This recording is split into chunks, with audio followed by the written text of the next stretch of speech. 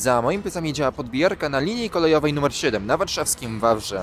Natomiast w poprzednim miesiącu miałem okazję zobaczyć, jak przyjeżdżają nowe rozjazdy i są rozkładane na nowej inwestycji, dzięki której w tym miejscu będą cztery tory, nowe perony i tak dalej. Ale skupmy się w tym filmie o części technicznej, jak to wszystko powstaje. Zaczynamy!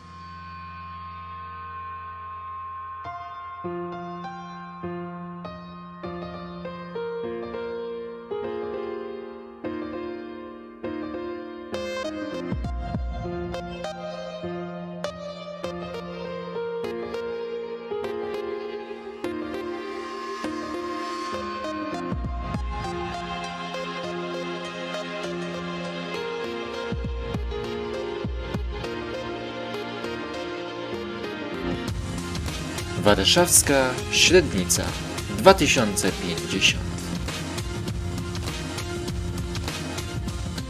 Witam Was tutaj, cześć czym ząż i zapraszam Was już teraz na kolejny materiał z Warszawskiej Średnicy 2050. Znajdujemy się dzisiaj na warszawskim Wawrze w poprzednim miesiącu, kiedy miałem okazję zobaczyć jak przyjechały tutaj nowe rozjazdy kolejowe na linii kolejową numer 7 i były następnie rozładowywane. I dokładnie to sobie teraz zobaczymy, bez pokazywania jakie tam postępy na peronach i tak dalej. Bo to jest dosyć też ciekawy proces, y, który trwał kilka ładnych godzin. Wtedy też pociągi jeździły krócej, więc jeżeli widzicie, że pociągi jeżdżą krócej w nocy właśnie na Wawrze, to dlatego, że że przyjeżdżają nowe rozjazdy i inne elementy techniczne. I jak kiedy pociąg już faktycznie przyjechał z Otwocka, no to on później tutaj musi trochę manewrować. Jak widzicie, przejeżdża yy, tutaj dźwig, który przyjechał w jedną stronę, następnie lokomotywa jedzie po resztę składu, przyjeżdża z nowymi rozjazdami. Jak widzicie, one są też pod kątem. Czemu one są pod kątem tutaj na tych yy, lawetach? Dlatego, że nie zmieściłobyście to inaczej w skrajni. Skrajnia to jest przestrzeń, w, dzięki w której się mieści pociąg, aby nie zahaczyć o nic, co jest yy, w torze, czyli w inny pociąg, bądź w na przykład słupy od sieci trakcyjnej, oczywiście też semafory na przykład. No i jak już faktycznie te rozjazdy przyjadą, to trzeba później je zdemontować z pociągu w nocy w trakcie krótkiej przerwy technicznie, kiedy żadne pociągi nie jeżdżą w tym miejscu i następnie je ustawić już najlepiej na docelowym miejscu, a nawet jeśli nie na docelowym miejscu, to chociaż w jakimś miejscu, gdzie później będzie można poprzestawiać je w poszczególne miejsca. Ale chodzi o to, że po prostu trzeba te dwa tory, po których normalnie jeżdżą pociągi pasażerskie, czy towarowe, pośpieszne, aglomeracyjne, e, zwolnić w te kilka godzin. No i to oczywiście nie jest łatwe zadanie. Wszystko w teorii trzeba robić szybko, ale no to i tak trwało ładne kilka godzin, więc jak tutaj widzicie ujęcie, że tam całkiem szybko to się wszystko przemieszcza, to i tak dla Was to ładnie powycinałem, e, bo taki cały proces trwa dużo godzin. Miałem okazję też to zobaczyć jakiś czas temu na Warszawie Zachodniej, jak był montaż e, na obiekcie M01 i tam też to dosyć długo trwało. No i tak samo tutaj. Też mamy ujęcia z Dona, jak widzicie, zresztą Dona widać tutaj na tych niektórych ujęciach, ale z Dona są dużo ciemniejsze ujęcie, bo tam mam mniejszą matrycę, więc też z aparatu dosyć dużo będziecie mogli zobaczyć.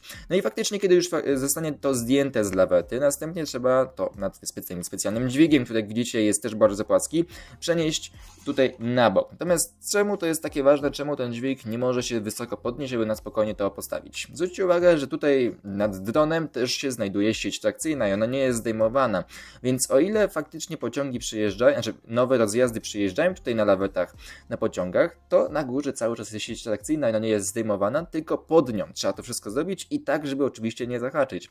Nie muszę Wam chyba mówić, że sieć trakcyjna w tym momencie jest wyłączona, tak żeby się tutaj nic nie stało przypadkiem, gdyby faktycznie któryś ze sprzętów jej dotknął. Natomiast y, to nie zmienia faktu, że i tak wiadomo, że nie można jej dotknąć i żeby się nic y, nie stało. To są tylko i wyłącznie względy bezpieczeństwa tutaj zachodnie. No i jak widzicie, y, następnie jest to zdejmowane, układane już w docelowym miejscu. Akurat miałem okazję zobaczyć, że tutaj już w docelowym miejscu to jest rozkładane. No i trzeba dokładnie wymierzyć, sprawdzić, gdzie to będzie. Później można to jeszcze lekko innymi pojazdami przesunąć, ale już teraz od razu w tym momencie, kiedy przyjeżdżałem te rozjazdy, najlepiej ustawić to w docelowym miejscu. No jak widzicie, tutaj idealnie wszystko jest co do centymetra ustawiane, e, więc możemy zaznaczyć, o proszę bardzo, opuszczenie. I taki jeden rozjazd może zająć pewnie nawet z godziny czasu.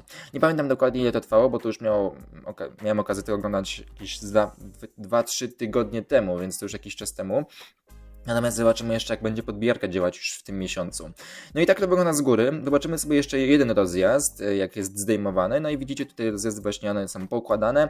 No te mniejsze, te części, bo cały rozjazd jest ogólnie też podzielony na kilka części. To nie jest tak, że on przyjeżdża w jeden, tylko jeden długi fragment. On jest pocięty i następnie jest składany w jedną całość, bo inaczej by się nie zmieścił na wagonach. A wiadomo, że wagon nie może być też niesamowicie długi, żeby się właśnie też zmieścił skrajni. Dużo informacji. Jeżeli nie jesteście w tematach kolejowych, to pewnie trzeba będzie też jeszcze raz obejrzeć. Mam nadzieję, że mnie słychać wyraźnie i da się to jakoś mniej więcej jakkolwiek zrozumieć, bo jest to trochę dużo ciekawych tematów dla osób, które się interesują faktycznie tymi tematami i nawet dla osób, które są z zewnątrz, żeby po prostu wiedziały, co się tutaj dzieje. No i tu właśnie widzimy dokładnie. Sieć takcyjna jest na górze, błyszczy się tutaj ładnie, a zaraz obok mamy znak. No i trzeba się nad nim właśnie tutaj przesunąć.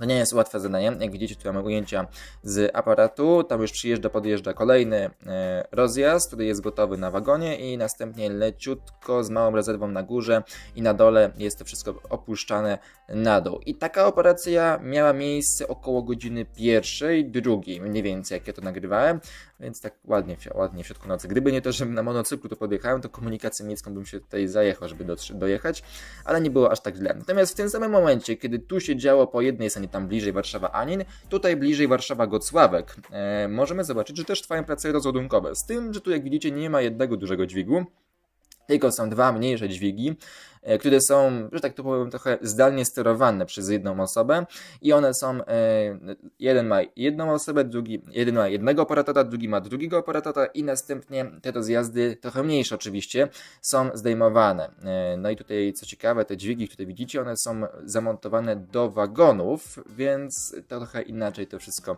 funkcjonuje. No jak widzicie, tutaj też jest mniej miejsca, no i obydwie prace musiały być realizowane jednocześnie, żeby po prostu jak najwięcej tych rozjazdów można było rozłożyć. Trzeba pamiętać też, że Warszawa-Wawer, jeżeli chodzi o linię kolejową numer 7, jest mocno. No, wiemy, że jest opóźniona, ale też wiemy, że trzeba skończyć ją jak najszybciej, aby nie utracić finansowania ze środków Unii Europejskiej. Dlatego też y, prace idą szybko. Szybko, ale dobrze i faktycznie widać ten postęp. W listopadzie w tym miesiącu e, nagrywałem kolejne ujęcia i powiem Wam, że dużo się zmieniło od ostatniego filmu takiego pełnego. Pełny film z pokazaniem dokładnie jak to wszystko wygląda pojawi się w drugiej części miesiąca z tego co kojarzę i najprawdopodobniej też już nagram razem do Otwocka, bo wiem, że w przyszłym roku tam ten odcinek będzie budowany, a właściwie się rozpocznie z budową. Natomiast tutaj jak widzicie tory już mniej więcej wszędzie są, one są rozkładane, tłuczeń jest wsypywany, będzie podbijarka, za chwilę zresztą zobaczymy. Też zobaczycie jakby na profilarka toru, bo ten tor, to że tak on ładnie wygląda, to nie oznacza, że on tak się sam tworzy, jeżeli na przykład robotnicy tam chodzą i faktycznie go ładnie wycinają. To tak nie działa działa. Jest do tego specjalna maszyna, która też jeździ po torach. W tym, tymczasem w tym miejscu widzicie przystanek Warszawa-Gocławek. E, no i tam właśnie już się znajdują nowe perony, nawet pod wiaduktami Marsa. Tak samo chyba na wszystkich, na całym odcinku już widać, że faktycznie prace mocno idą do przodu, no bo w grudniu w teorii pociągi mają już tutaj jeździć najprawdopodobniej tak też to będzie miało miejsce. Tymczasem tutaj widzimy podbijarkę torową. E, w tym miejscu podbija tory. Natomiast to nie jest taka typowa podbijarka, którą mogliście już zobaczyć na moim filmie z Warszawy Zachodniej, najprawdopodobniej jakiś rok temu, bo tutaj ta podbijarka jeździ też po rozjazdach i może wszystko podbijać nawet na rozjazdach. Czemu to ma znaczenie? Bo rozjazdy są trochę większymi elementami i aby podbić rozjazd, trzeba się do niego dostosować, bo nie wszędzie można po prostu go podbić na takiej samej skrajnie i w takim samym układzie. No i też trzeba trochę więcej elementów podnosić przy właśnie właśnie podbijaniu. I tu właśnie widzicie ten element, który wychodzi, on podnosi e, szynę, która jest na, najbliższa już na tym torze, który wjeżdża albo wyjeżdża z rozjazdu, w zależności od tego, jak to się na to patrzy. I on też po prostu, jak widzicie, lekko podnosi. Zresztą za chwilę zobaczycie na bliższym ujęciu, jak to ta procedura cała wygląda i też zerkniemy sobie do środka podbijarki, miałem okazję wejść, nie miałem żadnego sprzętu, żeby nagrać to w środku, więc trochę kiepsko to wygląda, no ale mniejsza z tym. Jak działa podbijarka, może jesteście ciekawi? No to jak widzicie, po pierwsze, to najpierw chwyta tor, a następnie wpycha tłuczeń pod tor i ogólnie wszystko, żeby było jak najlepiej w geometrii docelowego układu. I to wszystko zresztą zobaczymy na, w środku.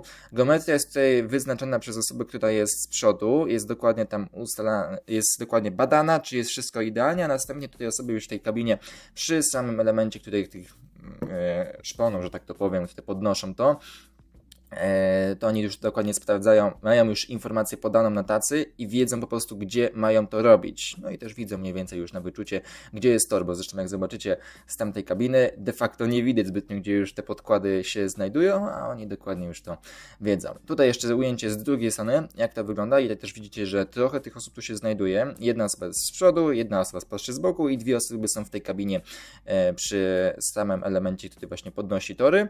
E, no i tutaj już widzimy fragment gdzie jest rozjazd z drugiej strony, więc ten element wystający jest po prostu po drugiej stronie. No i taka podbierka sobie pracuje.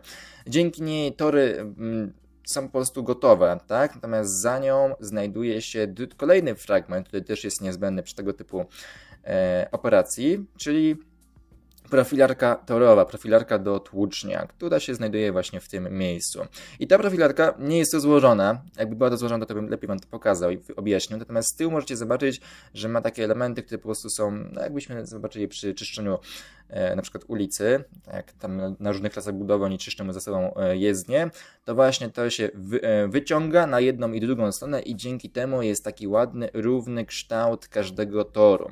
Jak widzicie, wszystkie tory tam po prawej stronie, po których już jeżdżą pociągi, one mają dokładnie taki sam kształt i tłuczeń, czyli te kamienie, które się tutaj znajdują, są ładnie poukładane w taki stosik do góry do toru. I to nie jest tak, że to jest robione automatycznie przy podbijarce, czy przez pracowników tutaj na budowie, do tego jest właśnie ten specjalny, e, ta specjalna maszyna, która po prostu profiluje, tak żeby to no, po pierwsze bardzo ładnie wyglądało, a po drugie było jak najbardziej funkcjonalne. No i później oczywiście trzeba jeszcze trochę dosypać, wyrównać, dosypać, wyrównać i tak, żeby to było idealnie poukładane, tak jak to jest na wszystkich nowo oddanych e, odcinkach kolejowych. To możecie zobaczyć zobaczyć na przykład, że tak idealnie te tory już wyglądają e, w Orzeszowem Mazowieckim, gdzie prace właściwie w większości się już zakończyło. W większości, bo cały czas tam no, nie działają wyświetlacze i na razie nie wiemy kiedy będą działać. Tymczasem tutaj patrząc sobie od boku zobaczymy jeszcze raz jak działa faktycznie podbijarka tatowa e, i za chwilę zobaczycie z bliska, o proszę bardzo, że to się całe też trzęsie, żeby właśnie lepiej móc ten tłuczeń wpychać pod te podkłady.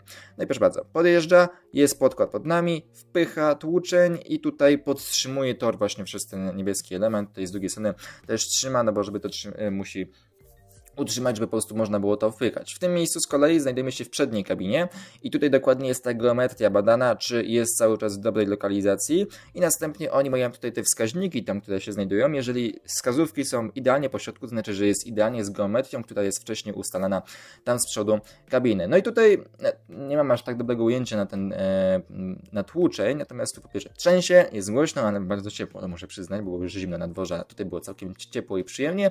No i tutaj wszystkie te operacje jeżeli chodzi o podjeżdżanie, sprawdzanie, gdzie jest podkład, podbijanie jego, jest to wszystko wykonywane. Jak widzicie, jest masa guziczków na górze, na dole.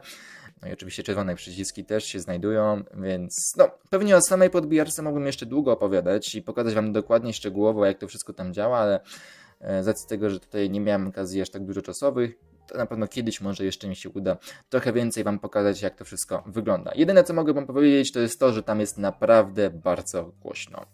Dobrze, to było na tyle z tego filmu. Taki typowo techniczny ten film pojawił się e, teraz o linii kolejowej numer 7, ale spokojnie niedługo się pojawi też o całej linii i o wszystkich peronach i taki tradycyjny jak zazwyczaj. Jeśli taki film Wam się podobał, to zostawcie łapkę w górę. Jeżeli chcecie zobaczyć więcej materiałów, kliknijcie subskrybuj i ten dzwoneczek.